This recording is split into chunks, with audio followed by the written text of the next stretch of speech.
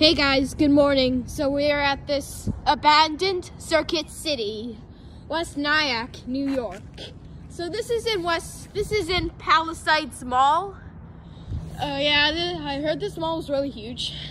So there's literally just the Lord Taylor right there, but I'm gonna do it in two separate videos. So, so sorry about that. So, so let's peek through the window.